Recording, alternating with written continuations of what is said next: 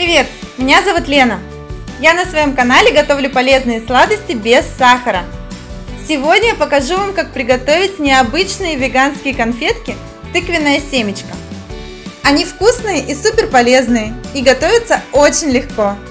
Вот какие ингредиенты нам понадобятся. Вопросы по ингредиентам и заменам задавайте в комментариях. И спасибо за лайк! Первым делом нужно измельчить тыквенные семечки. Думаю, вы знаете, что это очень полезный продукт. И чтобы не уменьшать его пользу обжариванием, я прогреваю семечки в духовке при температуре не выше 100 градусов Цельсия. В этом случае не происходит дымление и порчи масла, содержащегося в них. И вы можете быть уверены в чистоте продукта. 300 грамм семечек измельчаем в мелкую крошку.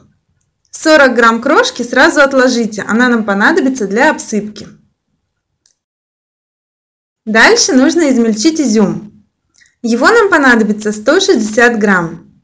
Добавляем к нему 45 грамм сока апельсина и 17 грамм меда. И тоже тщательно измельчаем. Соединяем с измельченными тыквенными семечками. Вот такая смесь должна получиться.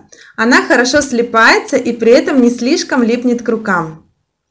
Если требуется, добавьте немного сока или крошки, чтобы добиться нужной консистенции. И отдельно нарезаем 50 грамм кураги и 50 грамм чернослива. Это будет своеобразная начинка наших конфет. Сухофрукты, конечно, предварительно замачивались в кипятке около 10 минут, в зависимости от того, насколько они сухие были изначально. И вмешиваем их в нашу конфетную массу. Тыквенные семечки содержат большое количество цинка. Например, съев несколько таких конфет, вы восполните свою суточную потребность в этом элементе. Считается, что они очень полезны для мужского здоровья. Также они могут помочь беременным при токсикозе утрамбовываем, накрываем крышкой и в идеале отправляем в холодильник примерно на час. Через час масса настоялась, теперь она будет лучше формироваться в конфетку. Катаем шарики и обваливаем их в крошки из тыквенных семечек. Обсыпка, конечно, тут может быть любая.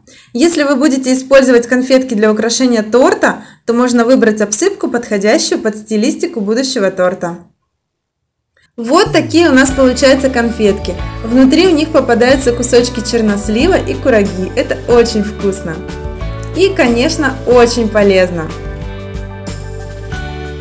Если это видео оказалось для вас интересным и полезным, ставьте лайк и делитесь им с друзьями. И подписывайтесь на мой канал, если вы этого еще не сделали. Пока!